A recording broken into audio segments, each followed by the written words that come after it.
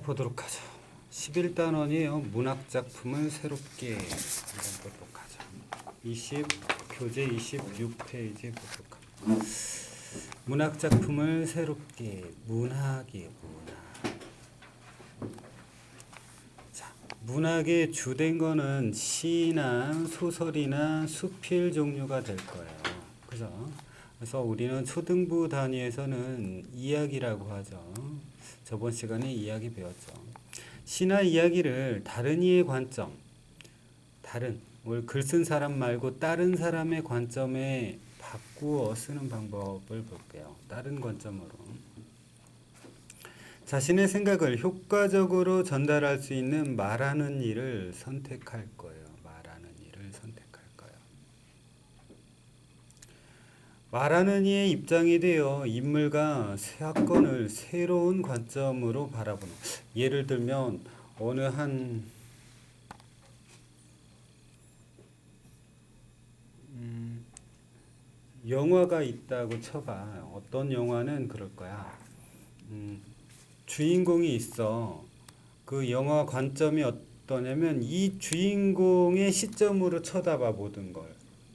응? 이 주인공이 쳐다보는 거랑 우리가 영화를 봐도 알 수 있는 건 이 주인공이 쳐다보는 것만 알 수 있어. 또 어떤 경우에 시점이 있어. 모든 걸 다 알아. 나쁜 놈의 생각도 알고, 응? 주인공의 생각도 알고, 그런 시점도 있지. 맞죠? 모든 걸 다 아는 시점도 있고.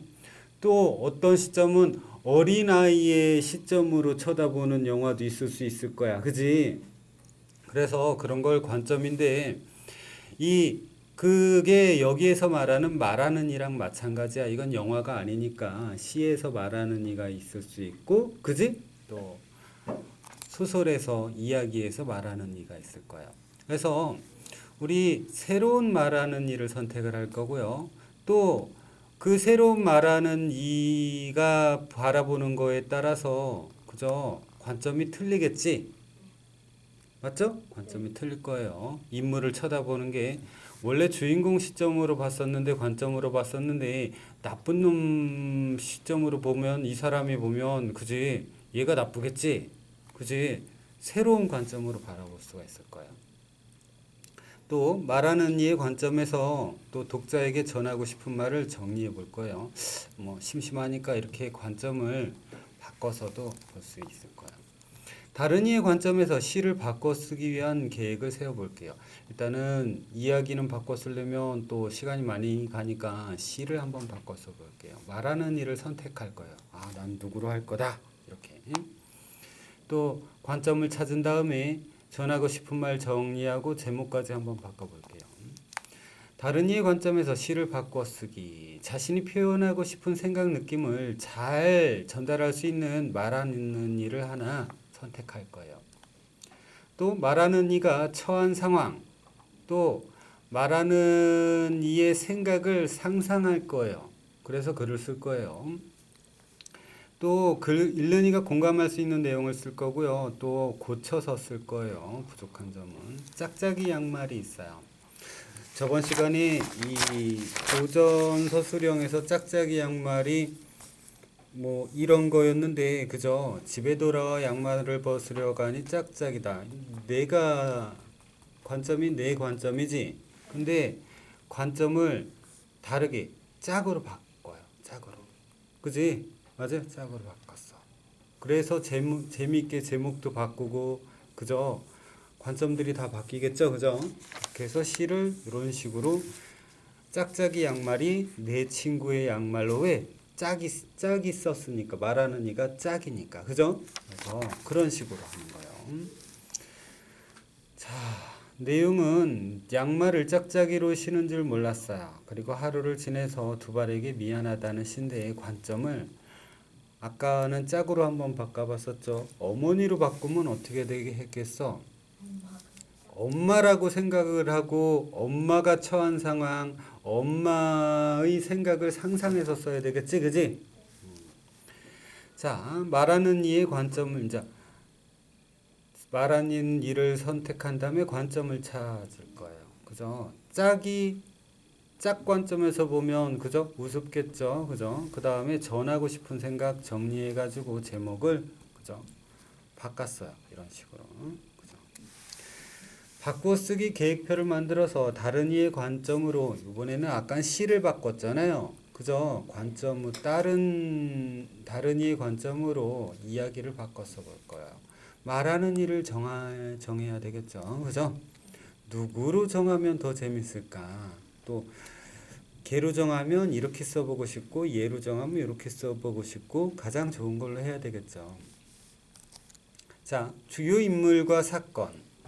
자, 바꾸는 거예요. 그 사람 관점을 바꾼 다음에 그러면 관점도 바뀌니까 인물하고 사건이 조금 변화가 있겠지. 맞아요? 만약에 주인공 착한 사람의 관점이었는데 나쁜 놈 관점이면 그저 뭐 다른 우리가 못 봤던 사건들이 더 보이겠지, 그지? 맞죠? 또 주요 인물과 사건에 대한 말하는 이의 관점, 그저 말하는 이를 우리 바꿨잖아요. 그래서 내용이 좀 바, 바뀌겠죠, 그죠? 그 다음에 제목도 좀 바, 바꾸면 더 재밌겠죠, 그죠? 바꿀 거야. 어, 다른 이의 관점으로 이야기를 바꿨을 거예요. 그 다음에 돌려서 친구들과 돌려서 읽어보고 잘 썼는지 확인할 거예요. 또 그죠? 확인한 다음에 마지막에 진짜로 고쳐서 쓸 거예요. 자, 꼬마와 현주가 있어요. 이야기예요. 내용은 현주는 몸이 약한 닭 꼬마를 특별히 공들여 키웠는데 어, 현주의 형이 어, 팔았어요. 자, 바꾸어 썼어요. 원래는 꼬마랑 현주예요. 이 닭이 꼬마잖아. 그지? 근데 꼬마와 내 동생 말하는 이가 형인가 보네. 형으로 바꿨네. 그지? 어, 형으로 바꿨어. 주요 인물은 똑같아요. 사건은 동생 몰래 팔았어요. 그죠? 닭집에서 동생이 울음 터뜨렸고요. 어머니께서 속상해 하셨어요. 어, 관점을 볼게요.